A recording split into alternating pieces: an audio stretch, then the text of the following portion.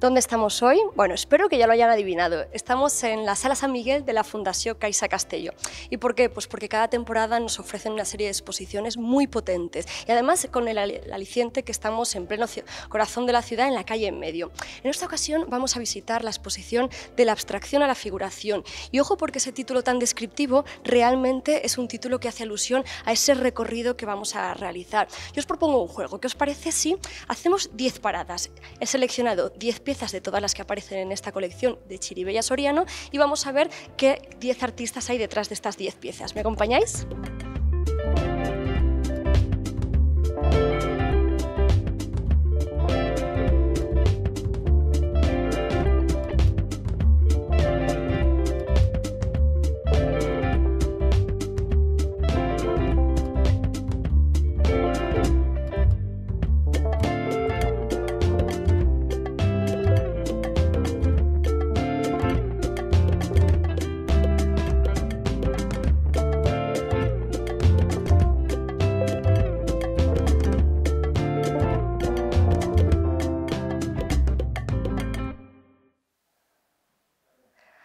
Formas imposibles, formas cinéticas, formas de Eusebio Semper. Esta sería, por ejemplo, nuestra primera parada. Quiero que entendáis que esta exposición está desarrollada sobre dos temáticas, la abstracción y la figuración, y que, es un, que además continúa con un orden cronológico y por movimientos. Empezaría en los años 50, como por ejemplo esta pieza que tenemos aquí de Eusebio Sempere, y eh, con especial importancia de los años 50, 60 y 70, y luego algunas incisiones de los años 80, incluso piezas de los años 2000. Así que bueno, esta sería nuestra primera Parada, Eusebio Sempere, El arte cinético.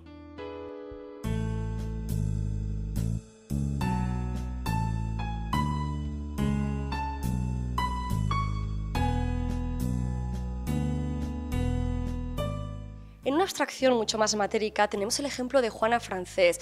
Pensad que en los años 60 el hecho de encontrar una mujer artista es muy interesante, muy importante. Además, Juana Francés formó parte de grupos tan importantes como el Grupo El Paso, del que formaban parte Millares o Antonio Saura. Me gustaría que os fijarais en esta pieza, porque mirad qué relieves tiene, mira cómo incorpora la tierra, el vidrio, el cristal, ladrillo, incluso botones. Fijaros en todos estos abigarramientos de formas que al final crean una masa compacta, una masa abstracta.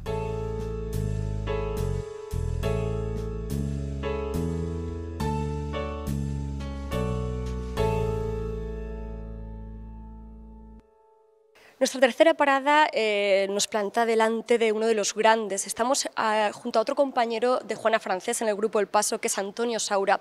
Antonio Saura es sin duda uno de los grandes exponentes de la pintura española de la segunda mitad del siglo XX, representante del informalismo, de esa abstracción eh, muy pesimista en sus lecturas, muy obsesivo en esa carga que realiza, eh, muy limitado en su paleta de colores, en esos grises, negros, ocres, en, la manera que tiene de, de abordar la pintura con, papeles, con cartones, de una manera muy humilde, pero a la vez con una carga de expresión potentísima. Sin duda esta obra, pequeña en tamaño, es una de las obras más grandes de esta exposición.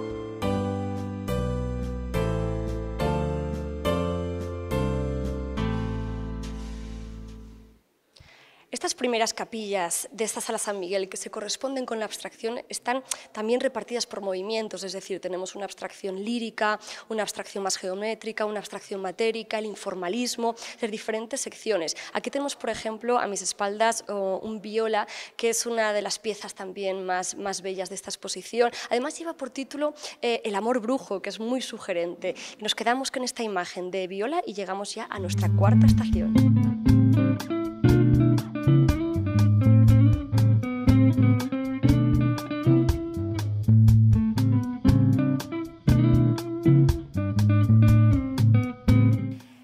Ese lirismo que nos permite la abstracción nos encontramos a otro grande de la pintura abstracta española, que es el señor Rafael Canogar. Aquí tenemos una pieza fantástica y al igual que, por ejemplo, Viola utilizaba en su, en su pieza un título muy sugerente como El amor brujo, aquí nos encontramos en las antípodas, nos encontramos un artista que en este caso ni siquiera ha puesto título, con lo cual vamos a ver cómo la mente del espectador crea su propia combinación. Aquí, en el de Viola podíamos encontrar quizá alguna alusión musical, aquí simplemente vamos a encontrar la mancha, las rayaduras, las, los, los chorretones, es pura abstracción.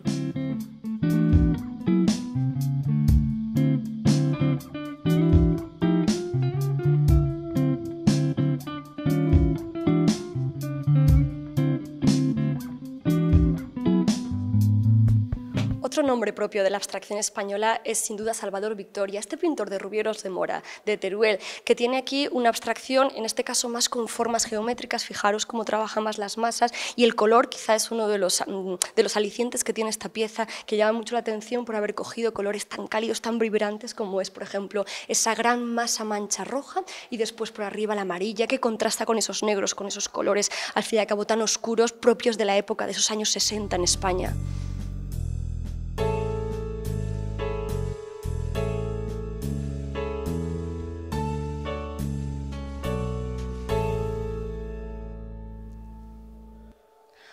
Uno de esos pintores más lúcidos de los años 50 que trabajó en la abstracción es sin duda Manuel Hernández Monpó.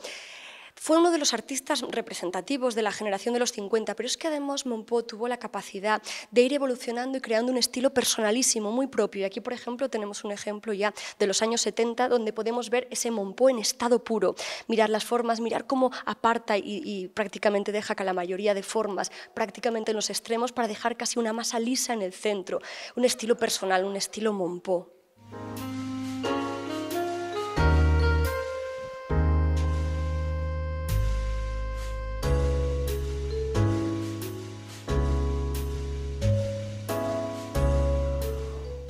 De luz que queda justo en el centro del cuadro frente a esta pieza, que ocurre todo lo contrario, donde la luminosidad está en los extremos y la masa está en el centro. Tenemos aquí una preciosa obra de Fernando Zobel.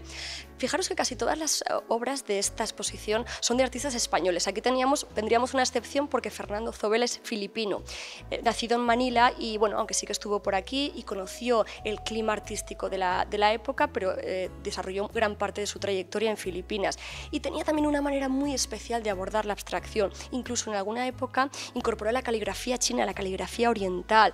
Fijaros qué belleza en el trazo, qué sutileza, qué elegancia la de Fernando Zobel.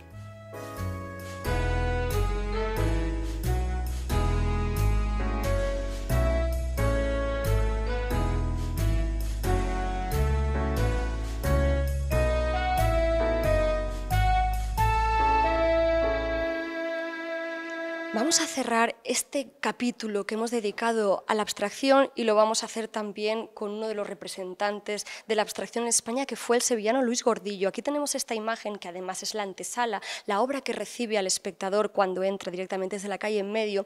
Y la he escogido para acabar este bloque, aparte de que es por los años 70, que son los últimos prácticamente coletazos de la abstracción que vamos a encontrar en esta muestra. Y la escojo porque precisamente por todas esas referencias figurativas nos va a dar pie a esa nueva bloque de todas esas capillas que quedarán en el lado derecho de la sala que se corresponden con la figuración. Así que nos vamos a quedar disfrutando todos ustedes y yo de Luis Gordillo.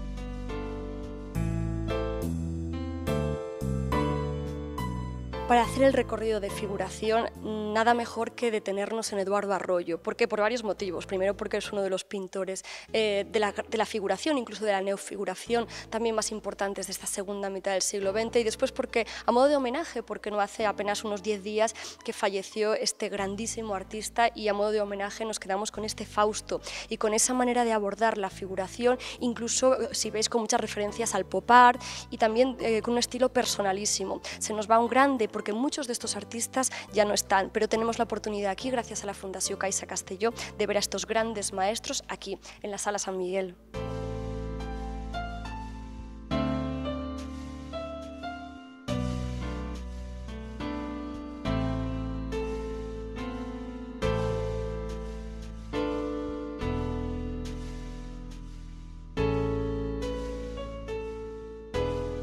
Y este recorrido llega a su fin. De la abstracción a la figuración ha sido este homenaje que Televisión de Castellón y desde Plaza Mayor hemos querido realizar para esta exposición. Mirad, os cuento que esta colección de Chiribella Soriano tiene ahora mismo cerca de 500 obras en su haber. La mayoría, la sede de la colección, se encuentra en un palau del siglo XIV de la ciudad de Valencia, pero parte de esa colección la encontramos ahora mismo aquí en la ciudad de Castellón, en el centro de la ciudad.